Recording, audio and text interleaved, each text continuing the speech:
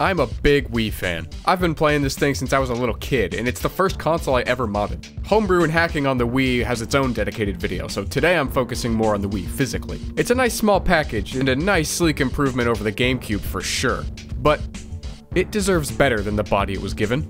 The Wii can be improved. And if you think that I'm going to give it the GameCube mini treatment just like I've done before with a nice compact redesign, Nope. think again. We need to think bigger this time. The Nintendo Wii is a console of the gods, and it deserves a godlike stature. I am going to do what nobody else has done before in the history of the Nintendo Wii. I am embarking on a journey to make it large. So it was off to Lowe's to find something I could use as a suitable baseboard to build the Mega Wii out of. The plan is going to be to 3D print most of it, but for the two broad faces, I want to have one seamless panel, which neither of my 3D printers can handle. I was hoping to find a polycarbonate or ABS sheet of plastic around 3 16ths of an inch or 5 millimeters thick, but they didn't really have anything like that. The closest I can find is this weird 2 millimeter thin plastic sheet, but it wouldn't be nearly strong enough for this project. I thought about using some kind of 3D printed skeleton type thing to strengthen it up, but eventually I just decided on this 1 8 of an inch thick or 3 millimeters thick whiteboard panel instead. This will be fairly easy to cut too, since it's made of this MDF wood type material and all I have access to right now are hand tools.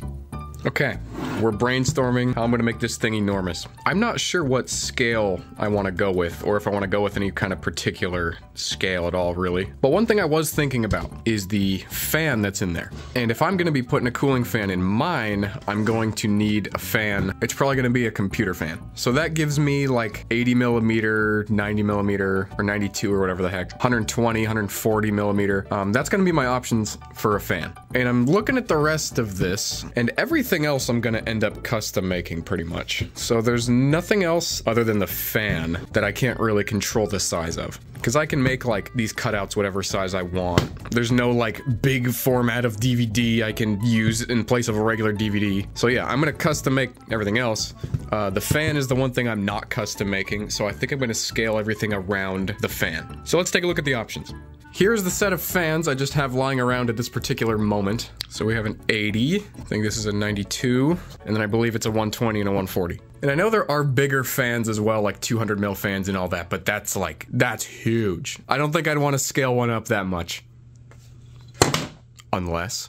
No, no, I'm just kidding. I'm just kidding. Unless, no, for real though, that's way too big. So what I'm gonna try and do then is mock up in CAD the size of a regular Wii and then the scale that I'd have to make it go to to use each of these different fans and then kind of look at the dimensions and go from there. Okay, I think this really puts it into perspective. So here's the original. Here's an 80 millimeter fan, 92 and 120, and I stopped there because it's already huge. Just so this project doesn't get too out of hand, and I still need to fit within the limitations of my 3D printers, I'm going with the 80 millimeter. It's still like absolutely gigantic compared to the regular Wii. If I had better means, I would make an absolutely off the walls one, but um, I think for now we're gonna go with just the 80. But now that I've decided on the scale that I want to use, I can go ahead and just click two different points on here and it will be able to measure the distance between those two points. The depth of this thing scaled up is 456 millimeters. And now I can just go ahead and mark that out on my whiteboard and get cutting. Now that I have my baseboard cut out, I'm gonna start CADing some stuff. And when I say stuff, I mean all the stuff that's gonna make it so this still works like an actual Wii. I haven't decided yet, but I may orient the Wii toward the front there. This is where the faceplate will be, and you might still be able to put discs in. It was just an idea. I don't know if I'm gonna go that direction, but that'd be kind of cool if I can keep that functionality. Because everything else I can extend. I can get GameCube controller plugs that plug into each of the GameCube controller ports, and then they'll route out to the top. That's not hard. Getting USB ports that route this way, that's not hard at all. I'll be able to fit the AC adapter inside of the housing probably, uh, and like an HDMI adapter, I'll be able to do that as well. They only come out to like right here. Um, so all of that is very doable. The button's very doable. SD card doable. DVD, that's the one thing that I'm not sure about. I don't want to have to modify the console at all. I want you to be able to open this thing up, stick a Wii in here, plug everything in, and then you're good to go. Finally getting somewhere with 3D printing some of these parts. So this one's gonna line up near the front here and it's gonna hold the entire front plate in place. You've got all these different holes here because I'm gonna glue this thing down. Uh, some of the glue is gonna spill through the holes and it's just gonna make it grab the piece a little bit better. Uh, these holes here are for brass inserts, which you can see I've already put in place. Brass inserts are really cool. If you don't know what these are, they're kind of just like threads that you can put wherever you want, which you can fit like a. Uh, I think these ones are good for an M3 screw into. And they've got this knurling on the outside where you can heat them up and then press them into plastic parts like 3D printed stuff, for example. And then they'll melt their way through the plastic and then bite into it. And then you've got a thread that's set in place. Like, see, I can thread this guy right in there. And then you don't have to worry about trying to make threads out of plastic, which are not gonna last at all. These things work really good. I've used them on quite a few projects now, and I'm a big fan. But that's how we're gonna hold the front plate in place. This is gonna be the SD card slot. I've just cut out just this part for testing right now. And then it's got these four holes right here. And then what I'm gonna do is screw this into this bracket, line it up properly, and then we'll glue this piece down and it'll be set in place. Here's the test piece for the faceplate. This is fucking enormous, dude. So I had to print it in two parts because even my bigger printer, my CR10 over there, unfortunately it's still no match for the absolute girth of this boy. It is split in two right down the middle well, not down the middle, a little bit uh, lopsided. But you know, it is kind of unfortunate. They're just joined with hot glue for now. I don't know if this is gonna be the final piece. Obviously, I would like paint it to make it white, but this was just a test print to see how it's going to fit. And it came out okay. It's not great. Some scummy lines there. Uh, you can't even really pick it up on camera, but the whole thing, all the corners lifted, which kind of sucks. I don't know, it's not bad. If I had to like fill this a little bit and then spray paint it. Um, I don't know, I wouldn't be too mad, but it is a little, a little scummy of a print, so I don't know. But anyway, there's the board. So the idea there is that we've got it screwed into the bracket here, and then you can see there's just a little bit of a height difference between these two pieces, and that height difference is because the board will fill it in. So now the white piece sits on top of the board, and the faceplate sits flush with it. And I've even got these little buttons 3D printed. These are gonna be like the power buttons, reset buttons, and eject buttons. And they go in through the back, just like this.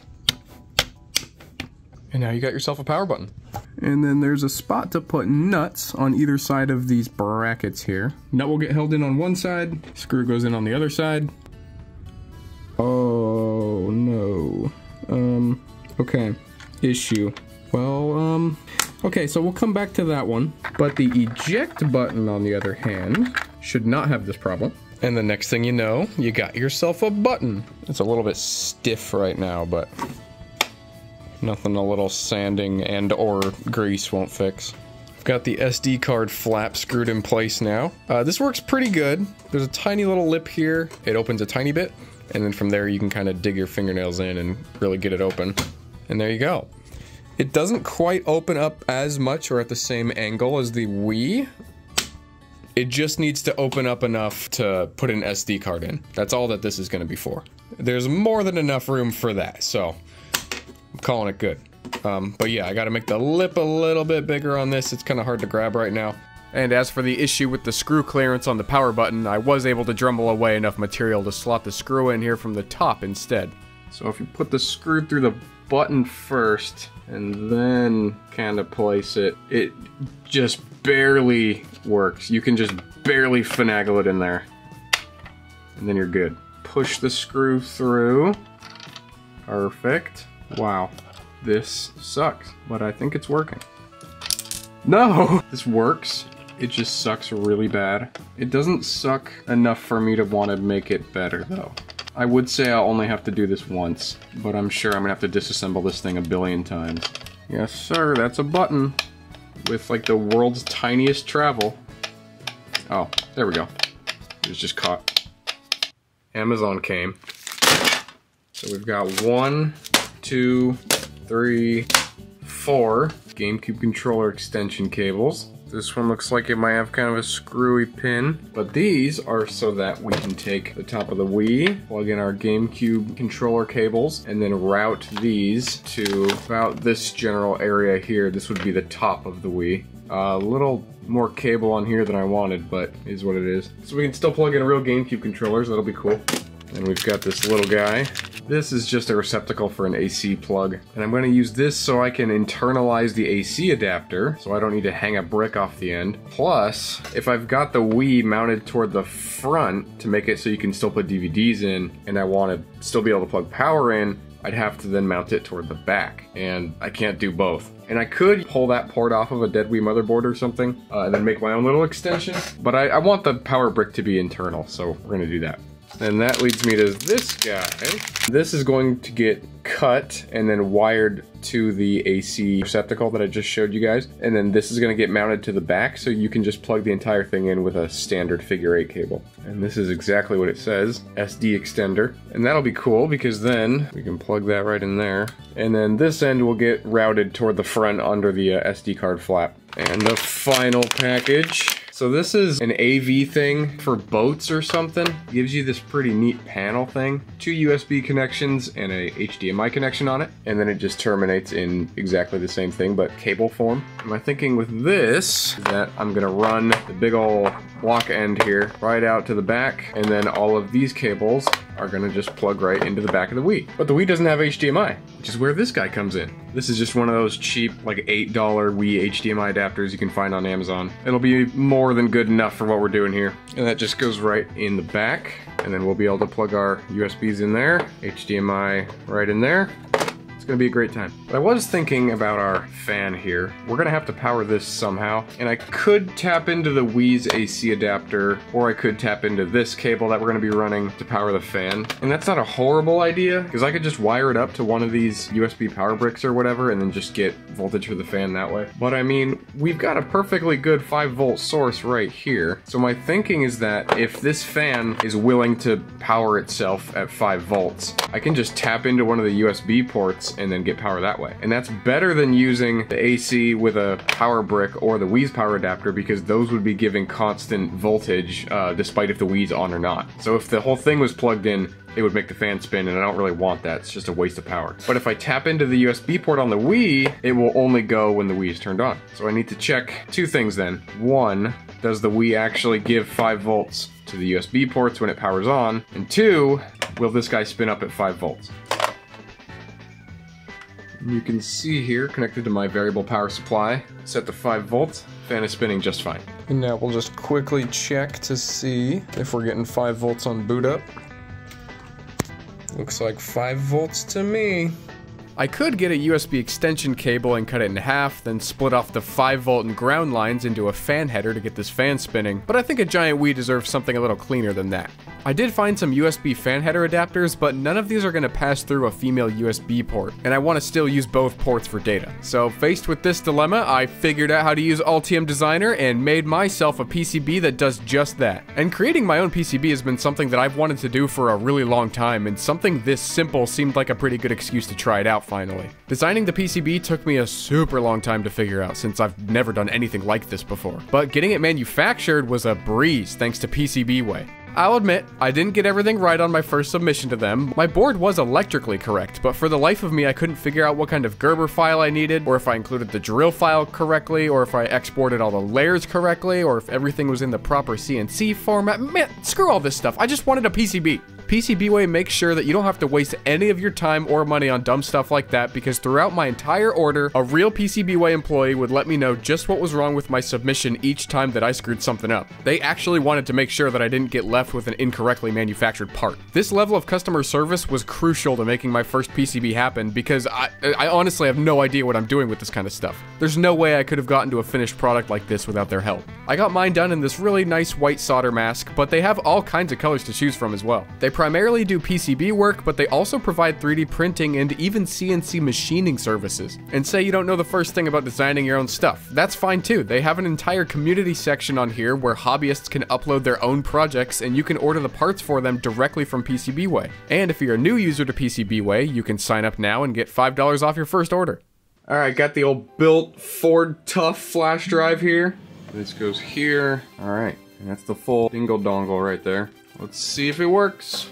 Okay, fan is spinning. We'll load up USB loader here to see if it recognizes the flash drive. And there it is. I think if I was using a USB hard drive rather than a flash drive, this wouldn't work because the fan would steal too many amps from the mechanical drive. And I could test it, but either way, flash drives are so cheap for 64, 128 gigs at this point that anything that I'm realistically gonna wanna play on the Wii will fit on a flash drive nowadays. So this will do great. I'm glad that my PCB worked because that was the first PCB that I've ever made. Okay, so all the electronics have been figured out. All that's left to do is print the various 3D printed parts that are going to be going inside, as well as the outer perimeter. Bean is being very helpful as my chief visualization officer. I've kind of changed my mind about the whole uh, GameCube cable extension thing. For one, these things are absolutely disgusting and super poorly built, and the pins are just flying out of the socket. And I don't think they're going to be a good solution. So instead, we're going to do it like this. So this is the entire top panel. It's just gonna go right there. And so instead of putting the memory card ports here and all the GameCube ports lined up along the top, doing it this way is going to be a billion times simpler. And now there's just one port to access all of the GameCube related stuff. And then I've got this cover that's just gonna go right there as well, but it needs to get sanded down. It's not quite fitting right.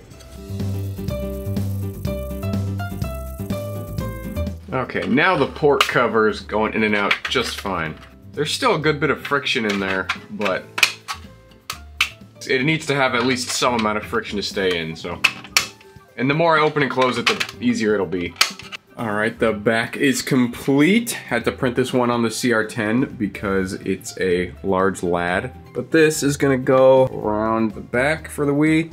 It's also going to house the cooling fan. Slots in just like that. And then I'll be able to screw down the corners of this bracket. Uh, and then power cable is going to go right there. And then the I.O. is going to go right there. Let me go ahead and put those in. So here's the rear with all the doodads installed. Got the exhaust fan on the back here. USB and HDMI I.O. The AC plug. Here's the other side. So the AC plug right now is just coming out into this tiny little extension cable. Uh, I'm going to be cutting this next and then soldering it to a regular household plug. And then there's the fan held in by a couple brackets there. I had to do it this way. I couldn't just screw it right into the back because the holes of the fan just barely don't line up correctly. So there would have been no way to mount it with those holes. But this way works fine. And then the I.O. obviously just terminates in these cables. And you'll notice there's no plug for the sensor bar, and that's because, fuck the sensor bar. I'm just gonna end up using a wireless sensor bar because there's no point in me having to chop up that proprietary plug off of a Wii motherboard just to throw it on there, when half the time all you're gonna do is play GameCube games on this thing anyway, so.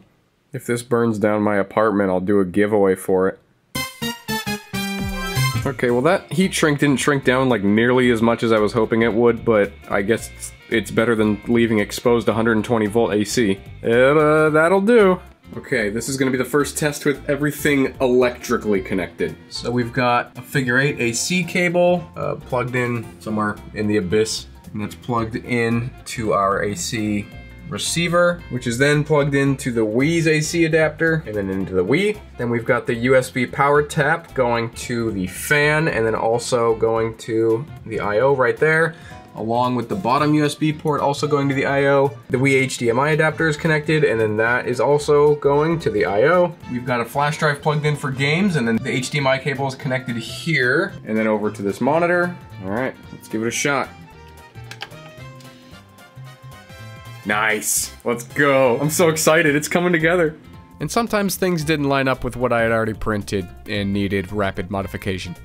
Eh, we still got most of the disc.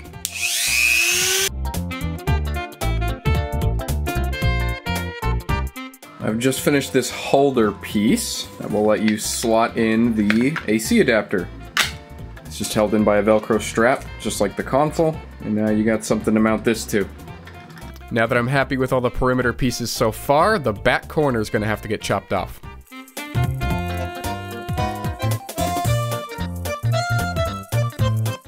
Uh-oh, stupid moment. On the original red prototype faceplate, these brackets that hold in the power and reset buttons are baked into the faceplate. These are just part of the model. Um, but when I exported the faceplate again to do it in white for the final one, I forgot to include the little bits that make up the bracket to hold the buttons. So I have printed them separately, and I'm gonna attempt to glue them onto the front, and hopefully they still work okay. Yeah, that seems to work alright. Yeah, I guess I can just glue it in. It's better than reprinting the entire faceplate. Party in the front, filthy in the back. Just how I like it. Alright, the front faceplate is done in white. She's got bigger panel gaps than a Tesla. But this whole top part of the front bezel is so ridiculously large, at least for the Bambu printer. And I know that this printer isn't gonna do well enough to print it even better, so. Unfortunately, the project's gotta be done eventually, so sacrifices are gonna be made. Other than that, oh man, I'm loving this thing.